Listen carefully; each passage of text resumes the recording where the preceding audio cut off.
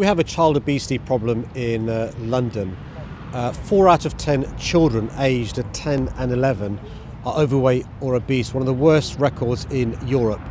And so the plans we're announcing today are a proposal to ban the advertising of unhealthy food and drink on the public transport network. So in the future, you won't be able to advertise foods high in fat, high in sugar, and high in salt on the tubes, on the trams, on the buses, and on London Overground. And we think it'll make a big difference to this challenge we face.